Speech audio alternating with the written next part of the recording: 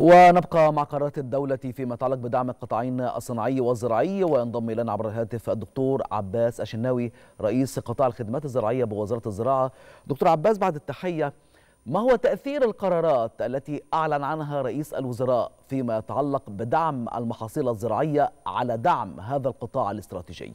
في هذا العام والعام المنصرم شايفين في صراعات دولية ما بين روسيا وأوكرانيا تغيرات مناخية في تطرف في المناخ تغيرات بيئية كبيرة بتأثر على الإنتاج الزراعي وكانت توجيهات فخامه الرئيس عبد الفتاح السيسي بالاهتمام بالإنتاج الزراعي في الدولة المصرية سواء بالتوسع الرأسي أو التوسع الأفقي وإحنا لاحظنا ذلك جليا بالتوسع الأفقي زي ما شفنا في منطقة توشكا منطقة الدلتا الجديدة.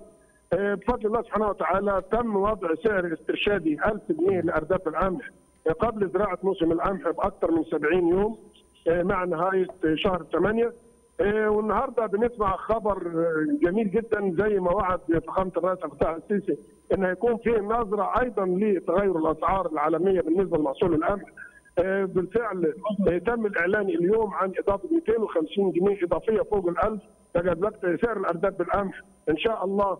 من المتوقع استلامه 1250 للارداب 1250 جنيه للارداب الواحد من القمح هذا العام.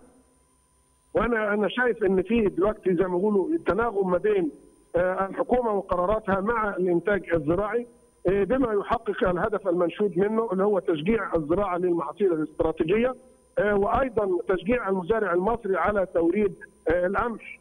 كسلعه استراتيجية للدولة المصرية الذي يعود إليه في صورة رغيف خبز مدعم بأقل الأسعار بتقريبا واحد على عشرة من ثمنه اللي هو بيقوم بالتوريد به للدولة وأنا شايف إن شاء الله رب العالمين دي يكون مشجع كبير جدا لتوريد هذه الاقماح وتظل الدولة على طول راعية وناظره صحيح. إلى الإنتاج الزراعي وخاصة محصول القمح طيب. وإن شاء الله هيكون في تواصل مستمر ما بين التسعير والإنتاج والأسعار العالمية يعني لتوريد الأقماح إن شاء الله ان شاء الله. في شهر طب دكتور عباس لو مايو القادم إن شاء الله. إن شاء الله. ماذا عن التوجيهات الصادرة من الرئيس عبد الفتاح السيسي فيما يتعلق بضرورة مراجعة أسعار المحاصيل الاستراتيجية مع وضع سعر محفز؟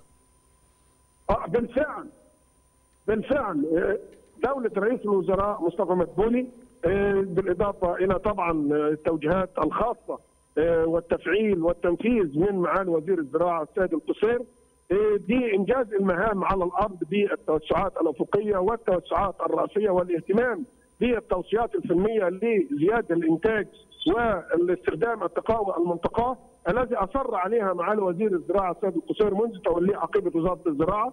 باستخدام السياسة الصنفيه والاهتمام بتوزيع الأصناف التي تحقق أعلى إنتاجية من وحدة المساحة في المناطق المختلفة بالدولة المصرية حيث أن مركز البحوث الزراعية لديها الحمد لله بفضل الله سبحانه وتعالى العديد من أصناف الأقماح والمحاصيل الأخرى العديدة سواء أرز أو قطن أو أزرة تواكب تماما التغيرات المناخية والندره المياهية أو نقص المياه في الدولة المصرية.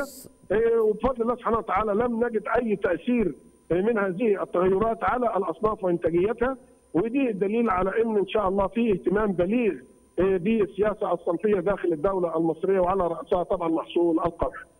أشكرك جزيل الشكر الدكتور عباس الشناوي رئيس قطاع الخدمات الزراعية بوزارة الزراعة.